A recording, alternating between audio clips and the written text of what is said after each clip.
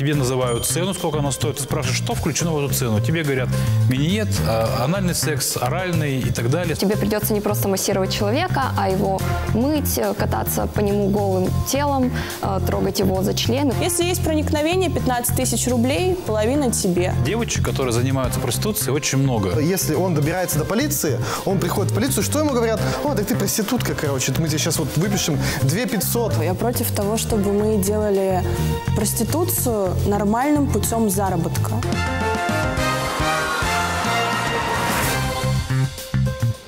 Это программа «Все говорят об этом». Сегодня о том, о чем говорят очень многие. О том, что в Екатеринбурге чрезвычайно развит рынок интимных услуг. Как он устроен, как работают все эти мужские клубы и массажные салоны, почему они все еще работают. Нельзя же вроде бы в начале съемки с рейда по подобным заведениям. В Екатеринбурге общественники и полиция совершили облаву на массажный салон. В заведении незаконно продавали алкоголь и оказывали интимные услуги. Ходе контрольной закупки общественники выяснили подробные расценки. Так, за один час девушкой легкого поведения клиент мог оставить от 4 до 20 тысяч рублей. Половина суммы доставалась мастерицам на все руки, вторая половина салону. Сотрудниц набирали через объявления в телеграм-каналах, обещая красивую и богатую жизнь. Девушки отрицают, что занимаются проституцией. Им грозит административная и уголовная ответственность за оказание интимных услуг. Мы видели в этом сюжете Ирину, Дмитрия, Иван тоже участвовал в подобных рейдах. Как эти рейды проходят? Ну, найти, как выяснилось, э, я узнал, что это очень просто. Просто набиваешь в сети, и тебе выпадает куча вариантов. Но как можно зайти в подобное заведение и что? Вот что увидеть, Очень что просто. сделать? Очень просто можно зайти туда. Главное иметь желание. Обычно желание появляется у мужчин в вечернее время, в основном после употребления спиртного. Хочется какого-то продолжения мероприятия. Куда пойти? Клубы, бары, может быть, не то. Хочется женской ласки, женской любви ребятам. И, в принципе, никто не скрывает, что такие заведения в Екатеринбурге области есть. Нижний Тагил и Екатеринбург спокойно рекламируют эти заведения в метро, в трамваях, а, на остановках висят пе- пестрые баннеры, которые Что на указывают... рекламе написано? Публичный дом? Написано Men's Club, э, мужские удовольствия, Мужской эротический салон, Вот именно эротический. эротический. массаж, что угодно. Да. У нас массаж-то Массаж простой в городе есть мужчин. еще, нет? Есть. Конечно, Есть. есть. Главное не ошибиться. Ну, тут э, вопрос места и времени, когда вы хотите, потому что тот массажный салон, который настоящий, он закрывается к тому времени, когда начинает работу тот, который нужен вам уже непосредственно. Ой, Дмитрий, ты туда заходишь и говоришь, я общественник, сейчас буду все проверять. Очень просто. Вы подходите, звоните в дверку. Если как бы вы по телефону заранее не позвонили, вам открывает милая дама, говорит, привет, проходи. Вы проходите, примерно такая же лавочка. Вот так же мы садимся. Напротив устраиваются девушки, там 3-4, ну кто свободен, потому что многие могут быть заняты в данный момент. Выбираешь, какая мастерица тебе э, приглянулась. А, Тебе называют цену, сколько она стоит. Ты спрашиваешь, что включено в эту цену. Тебе говорят миниет, а, анальный секс, оральный и так далее, с презервативом, без презерватива. И вы проходите в комнату, там стоит большая кровать, душ, она вас помоет, э, ну и вы как бы выполните свои пожелания, которые вы посчитаете необходимым, закончите обязательно, и все. Ты рассказываешь сознанием дела. Ну, опыт есть, конечно. Ребята рассказывали или сам пробовал? А, работа такая, что пришлось посмотреть все это изнутри. Вот так вот, по полной программе. Ну, надо же понять, что это такое на самом деле, потому что по рассказам не все понять можно. Ну, то есть ты покупал услуги проституток на самом деле? Нет, это не так называется. Он пользовался услугами Мы- массажных салонов. Мы участвовали в мероприятиях, э, которые проводила полиция, и приходилось, э, конечно же, перевоплощаться. Это Но была было- контрольная закупка? Это была проверочная закупка. Вы так же делаете? Нет, э, к нам поступает обращение в мобильное приложение, и мы уже непосредственно собираем информацию, то есть э, звоним, записываем разговор, соответственно, записываемся на время, приходим, и когда девочки выходят, мы уже объявляемся, что пришел народный контроль. Ну, как правило, они все разбегаются. Все, документов у них нет. Мы вызываем сотрудников полиции. И вот, но так Сами вот. вы проверять документы никакие не имеете права. мы можем попросить. Ну, То есть, попросить, а, да, ну, попросить, но не есть, приказать. Но не приказать, да. То есть э, в любом случае э, в салоне есть определенная информация, кто, какое юрлицо заведует да, этим, этим салоном. Как правило, этой информации нет, девочки не трудоустроены. Ну, и на все вопросы они 51 статья Конституции. И не Так же, отвечают. Дима? Немножко не так. Как у вас? А, самая главная задача – это а, наказать организаторов. Потому что девочек, которые занимаются проституцией, очень много. И э, тут э, их вина тоже есть, понятное дело, их надо привлекать. Но наша задача в том, чтобы доказать организацию незаконной деятельности. То есть есть люди, которые непосредственно а, организовали салон. Они сняли помещение, они нашли девочек. Причем, скорее всего, у таких людей не один салон, их два, три, четыре. То есть это уже организация преступной деятельности. Как И доказать, тут- что там происходит преступная деятельность? А провести проверочную закупку. Да, оперативно-розыскные мероприятия проводят сотрудники полиции, это отдел уголовного розыска занимается. То есть они приходят, э, делают проверочную закупку. Ну, то есть они прикидываются Вот клиентами? надо- да, надо, чтобы Надо. произошел какой-то либо половой акт. То есть сегодня а, законом сказано, что не только проникновение в девушку с одной стороны должно быть, то есть это может быть даже оральная ласка. Это уже приравнено к интимной услуге. И тогда уже И это тогда преступление. уже преступление, да, которое совершила девушка, а кто подтолкнул, то есть надо разбираться и доказывать в каждом отдельном случае. Ну, на ты- самом деле, вот вы рассказываете так все просто, а на самом-то деле, большей частью, сколько я смотрю на эти салоны, сколько сталкиваюсь со своими делами, а, всегда все очень завуалировано. По телефону тебе никто не расскажет спектр услуг. Ну, телефону мы Тебе не с- говорим. ну, вот ты позвонил, тебе скажут, да, приходите, там будет массаж, там, эротический и так далее, но никто не будет не говорить как раз-таки тебе о том, что будет там половая связь или еще что-то. Говорят. Ты- ну, это вот, вот те салоны, бы, собственно, и легко закрываются. Мы-то видим в вывеске одних и тех же. Дальше ты приходишь, там администратор. Она с тобой общается так, что как бы э, с ровного места тебе тоже никто там не назовет цены, ну, как обычно, это проституточно. как Ну, то есть вот так вот девушки не, не выстроиться, как они выстроятся, но ник- тебе никто не будет говорить, что вот там секс такой, такой, такой. Это занимаются другие организации, они действуют там более тайно, доставляют девочек в сауны и так далее. Обычно вот массажный салон, вот, который ну, там, с, полностью оборудованы, они все-таки не, не- напрямую никто тебе ничего не скажет. И вот как раз-таки, когда ты уже там взял услугу, тебе оказывают там ну, какие-то доп. услуги, ты заходишь туда, и это тебе уже девушка чаще всего предлагает какие-то доп. услуги. Получается, до этого момента как бы ты не знаешь, а вдруг девушка откажется. А вдруг там просто массаж? Ну, в том числе и известны такие случаи оперативных закупок, вот не буду говорить в каких отделах, но видела материалы, в том числе административные, когда оперативники приходили, э, брали девушек, тратили в том числе государственные деньги, на которые они должны выявлять преступление, заходили в комнату, девушки чувствовали неладное, начинали его мять, он такой, так, как бы, где, где продолжение? Она говорит, ну вот сегодня вот Но так. для понимания, для понимания, а если делается вот такая контрольная закупка, да, Проверочная как- закупка. проверочная закупка, то дело секс происходит в это время. Но Иначе не доказать. Что, я еще раз говорю, то есть тут не, не обязательно именно секс, тут достаточно оральной ласки. Ну, это тоже секс. Вид.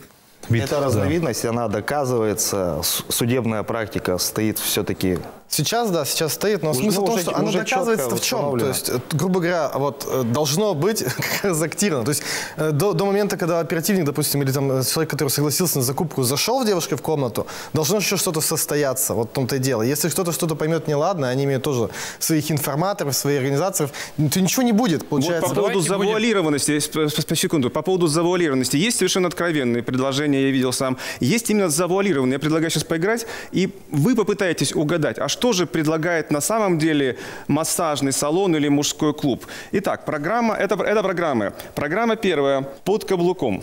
Что это может быть?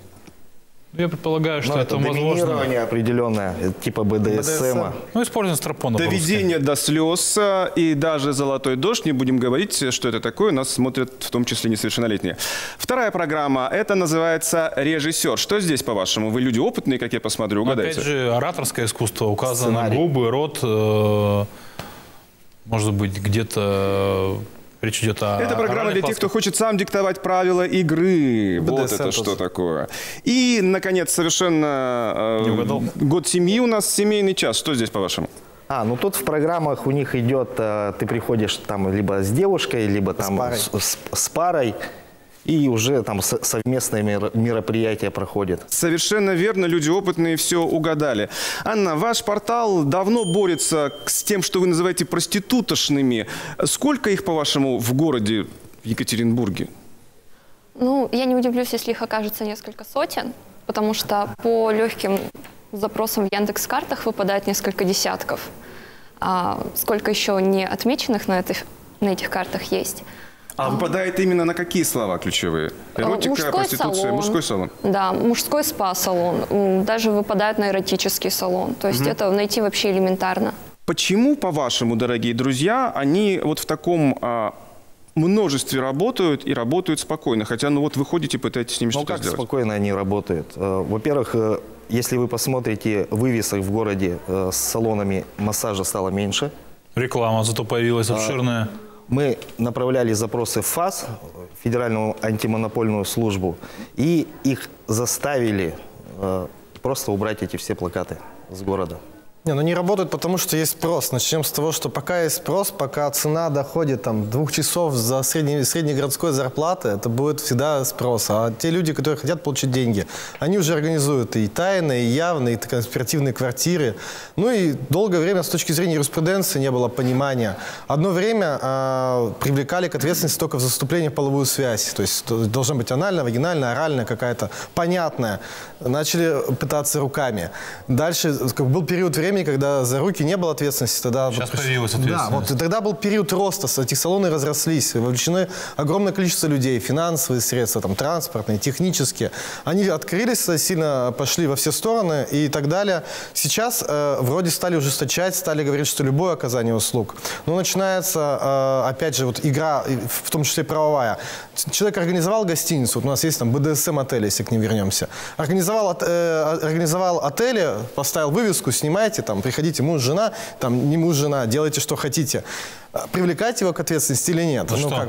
Ну, вот в том-то и дело. А будет ли за это. Ну, организация? или-? А вот 6.11, первый раз, 6.11. А за что? Шифруйте, За пожалуйста, что? мы не знаем, что это, что это такое. Я за не- занятие не- проституцией. Второй раз что 6.11 привлекать? что? и Он же просто 241 человек отеля. За что Он сдает помещение просто, и Ну, все. это просто вот, ну, вы назовите хоть детским домом, если вы оказываете Детей там только услуги. Нет, сюда. нет, нет. Подожди, там не оказывают услуги. Услуги это интимного номер характера. оборудованный. Ты номер ты, тебе сдают номер, ты пришел туда с девушкой и как бы делай, что Если хочешь. ты пришел с девушкой, это твое личное внутреннее. Вот. Там нет Но такого. Там, не, ты- там девушку не предлагают тебе. Тебе не предлагают. Там только а сдают когда помещение. тебе предлагают девушку Это понятно, да. за деньги, это Ну, уже... это вот, на самом Вот деле, сегодня, сегодня что- проституция имеет разные виды. Давайте Мы об этом посмотрим. поговорим. Я хочу, чтобы Ирина поделилась э, своим опытом. А Ты приходила устраиваться в подобные заведения. Но Мне кажется, в принципе, такие заведения работают, потому что есть спрос не только со стороны мужчин, не знаю даже, как назвать этих мужчин, но и со стороны девушек. Идет романтизация этой профессии. Сейчас такое красивое слово «эскортница», как будто бы некоторые девчонки этим гордятся. Мы снимаем об этом фильмы, мы говорим об этом в книгах, мы смотрим э, различные блоги этих девушек, которые называют себя так красиво эскортницей. Показывают красивую жизнь. Да, и показывают красивую жизнь. Как-то в Телеграме мы наткнулись на рекламу, точнее, на предложение о вакансии. Вакансия называется э, девушки, харизматичных девушек от 18 до 40 лет. Мы ждем в нашем массажном салоне VIP-класса для мужчин, чтобы вы заработали себе на iPhone своими руками. Там даже стоит Про рекламный... своими руками это намек был, видимо. Ну да. Я не знаю, что это было, но прям прямым текстом это было написано, причем было указано ИП, которое рекламировали, причем оно не в нашем городе, номер телефона был оставлен, рекламный токен, то есть как будто бы все там официально. И там писали, что девушки вместе с нами могут за первый год работы заработать на квартиру, позволить себе ежедневно посещать лучшие рестораны нашего города, купить э, самые красивые ювелирные украшения. Я понимаю, что некоторые девчонки для которых это как бы цель жизни, и на это купятся. И если они попали в какую-то трудную жизненную ситуацию. В итоге я позвонила по этому номеру, меня пригласили на собеседование для того, чтобы я все поняла точно. В итоге пришла в массажный салон у нас на Белинского, там была другая вывеска, это было другое название, не то, которое было в рекламе. Девушка сначала завуалированно со мной разговаривала, такая, нет, мы только руками и телом доводим мужчин до удовольствия, как она Это опять же высказалась. Да-да-да. И когда я пыталась вывести ее уже наконец-то на что-то другое и сказала, что у меня был опыт работы в другом городе, меня там кинули на самом деле, все, она уже раскрылась, она говорит, да, если есть проникновение, 15 тысяч рублей, половина тебе. Все, можешь со следующего дня, завтра выходить в 10 вечера, мы просто сделаем двух девочек по цене одной. Тебя всему научат, покажут, покажут, ну, познакомишься с мальчиками, с нашими, все. Как ты чувствовал себя в роли э, нанимающейся на роль на работу проститутки? Ну, мне было неприятно внутри, потому что я вижу, что девушка, которая разговаривала со мной, она еще такие говорила моменты. В первую очередь твоя заработная плата будет зависеть от твоего мира ощущения, от того, какой комфорт ты даешь мужчине. Я понимаю, что для нее это нормально что мне просто стало тошно от того, что это есть, и работницы, они приходят, они не пропадают, и мы не воспитываем чего-то другого. Я спросил у своих подписчиков в соцсетях, кстати, подписывайтесь, э, спросил, что они думают о рынке сексуальных услуг в Екатеринбурге.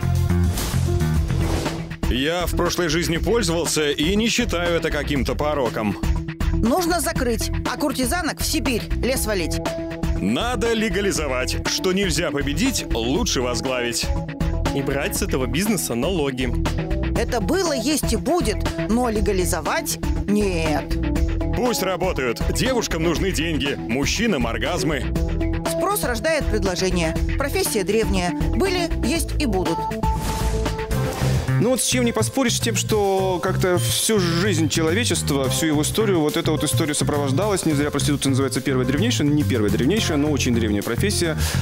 А может быть, и прозвучало предложение легализовать. Ну, правильно Кто-то должен был сказать это. Будет и было. А по Тогда поводу наша задача. Легализовать нет, нельзя. Нельзя распускать это и доводить до того, чтобы это было на государственном уровне. А говорить о том, как это все раньше было, мы помним все наш город, помним улицу Щорса, по которой ездили машины, девушки стояли прямо на обочине.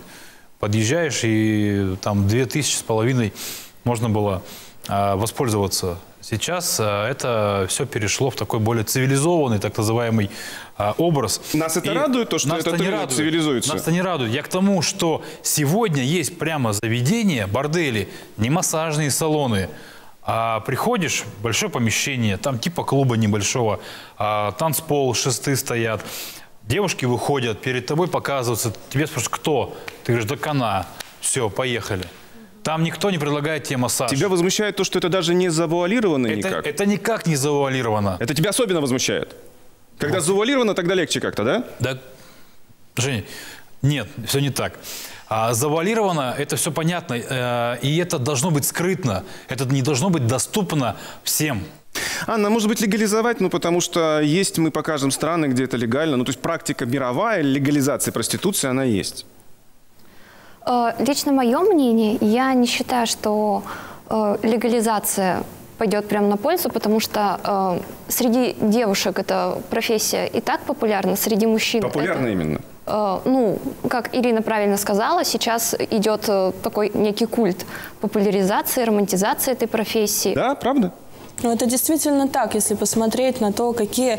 У нас есть огромное количество блогеров, которые себя позиционируют как, э, не знаю, там, женский наставник, раскачая вашу женскую энергию. На самом деле это вот там та же самая Настя Рыбка, которая бывшая, ну, может быть, не бывшая проститутка, я не знаю. Слушайте, ну Так сегодня... вот, про легализацию.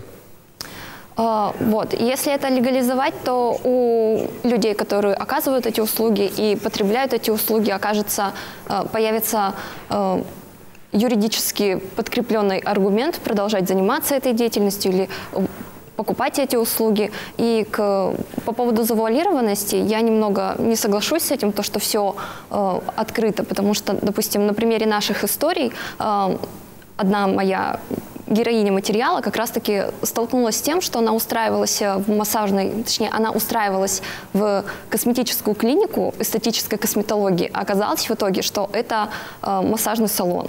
И намекнули ей на это только уже практически в самом конце, когда э, ну, выяснилось, что тебе придется не просто массировать человека, а его мыть, э, кататься по нему голым телом, э, трогать его за член и прочее, прочее. Ну, Вообще, по-моему, легализация это все-таки на самом деле путь. Вот у меня чисто с юридической точки зрения. Вот все, что сейчас вот идет борьба, это все есть. Все, вот все- здесь никто не отрицает, что это огромное количество людей. Человек, пускай девушка, пускай неопытная, насмотрелась блогеров, ну, там, ошиблась, там, не знаю, нужда, квартира, iPhone, заставили пойти в салон. Вот она перешагивает ту черту, где мы можем регулировать отношения, то есть черту закона. Дальше ни медицинского свидетельства, ни медицинских никаких анализов у нас давать не будет. Дальше начинаются сопутствующие все преступления, все сопровождаются похищение человека, торговля людьми, э, этих женщин избивают, удерживают. И самый главный аргумент, вот тут точно никто не поспорит, всегда сутенеры, организаторы говорят, ты пойдешь в полицию, тебя что сделают первым делом? Тебя и привлекут, потому что ты пришла. Человек, получается, и вся, все вот это общество выпадает. Я не говорю, что там брать налоги, там, но государство, если оно пытается каким-то путем идти, если с этой сферой не получается бороться, ну давайте какие-то вводить правила, законы и так далее, зону отчуждения вводить. Слушайте, ну подождите, у нас все-таки у нас тогда легализовать. Я, у нас, я считаю, у нас что необходимо нормальная легализовать. страна, и давайте не будем забывать про семейные ценности, которые очень важны сегодня. У нас а вот, указ а вот, а президента вот эта был история 806. вся, которая сподвигает мужчин ходить налево, она разрушает эту историю. И эти ценности тоже. Семейные ценности Дмитрий, очень важны. Дмитрий, Иван, это, безусловно, это очень важно. Мы говорим о том, что это есть, подобное явление есть. И э, традиционный аргумент сторонников легализации, что, что давайте это декриминализируем и будем как-то это все, чтобы помогать. Эту ситуацию и сферу Исправлять. контр- контролировать, не- Контролировать. контролировать нельзя. Езжайте в, э, в Чехию, там публичные дома, в Праге. Хорошо, э, в Чехии, а также Япония, а также Нидерланды. Давайте посмотрим. Район Кабукитьё в Токио известен развлечениями на любой вкус. Ресторанами, стриптиз-барами, массажными салонами и кабаре. В торговых автоматах можно купить все – от алкоголя до ношенного белья. В Осаке другой квартал красных фонарей. Вдоль улицы расположились заведения, оформленные как маленькие ресторанчики. Секс-работницы выступают в роли официанток, а сидящие рядом бабушки в роли сутенеров. Крышуют такие заведения якудза, японская мафия. И самый известный квартал находится в Амстердаме. Кроме маленьких комнат с проститутками, здесь множество секс-шопов, секс-театров и кофеин, а также музей, посвященный древнейшей в мире профессии. Ирина, когда мы говорили про легализацию, ты мотала головой. Нет. Я прямо против этого. Я против того, чтобы мы делали проституцию нормальным путем заработка. То есть ни в коем случае нельзя это легализовать. Ни в коем случае нельзя девушкам говорить, что это нормальный способ того, чтобы заработать себе на жизнь. Я искренне считаю, что туда приходят девушки не от большого ума, не от хорошего воспитания, не от хорошей жизненной ситуации.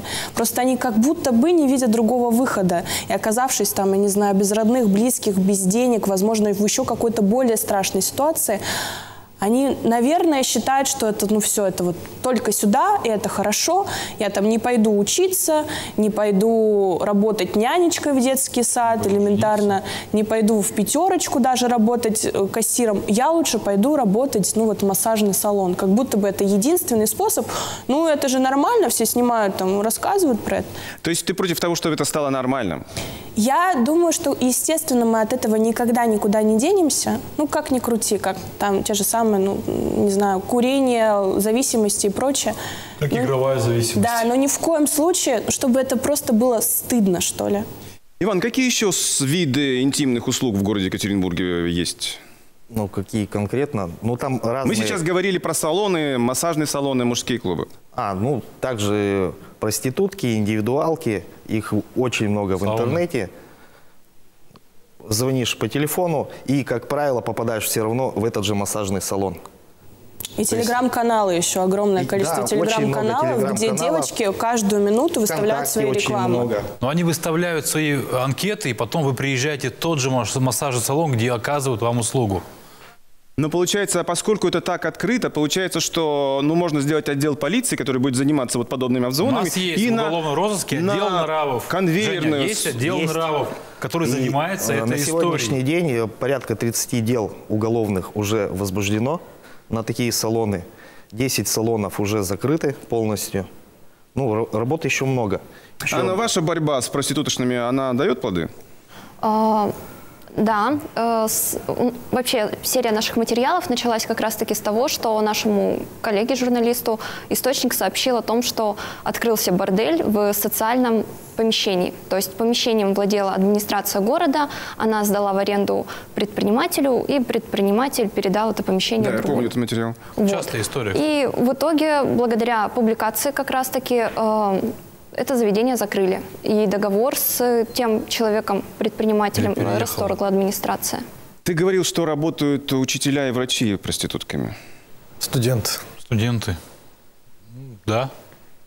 Ну, к, Девушки к сожалению, раз к сожалению, э, опять же говорить, что если люди идут за дополнительным заработком, то Насколько, рассказам- а, по ты- рассказам они 90-е ты вспоминал, Наск- тогда это было опасно. Тогда было опасно масса историй, когда сутенеры калечили девушек. Сейчас это опасно или нет? Да, мне кажется, та же самая история, когда девушек лишают свободы, закрывают, забирают паспорта. Это не так распространено, но это есть. И девушки об этом молчат и говорить об этом не будут, потому что они сильно запугивают. Вот здесь бы хотелось сказать вот как раз-таки по аналогии с алкоголем и курением. Здесь же никто не скажет, что там курить, алко- там, пить это полезно. Это как бы ну, запрещено, это, ну, в смысле это не запрещено, это как бы не поощряется. Все Это знают, что- регулируется. это регулируется. Так вот я и говорю, что не надо же, можно же деньги, полученные в том числе от, э, от, э, вид- ну, от, от проституции, что называется, государство пускать на борьбу же с То ней есть в вы за плане- легализацию проституции? я считаю, что необходимо придать этому всему правила. У нас сейчас человек приходит туда, его избивают, калечат, его хоронят, и когда, э, если он добирается до полиции, он приходит в полицию, что ему говорят? О, так ты проститутка, короче, мы тебе сейчас вот У нас выпишем же есть еще 2500». наркотики. Я постоянно просто рассказываю сюжеты про наркотики, а может быть и наркотики тогда точно Но так же легализуем? наркотики, Нет? они образуют все-таки такие последствия, которые невозможно устранить. А человек- тут точно так же могут кого-то заразить. Девочек реально хоронят потом. Ну что Ну, это? семейные ценности. Последнюю минуту, в последнюю минуту, окей, э, один человек за легализацию, все остальные против. Она тоже против?